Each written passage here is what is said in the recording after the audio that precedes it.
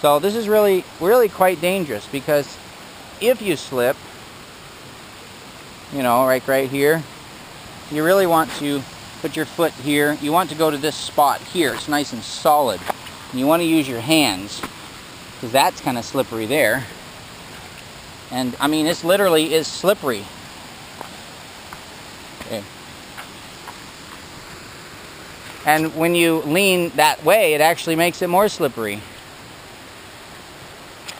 You just want to, and that's kind of slippery, and you know, and then that that there is not slippery.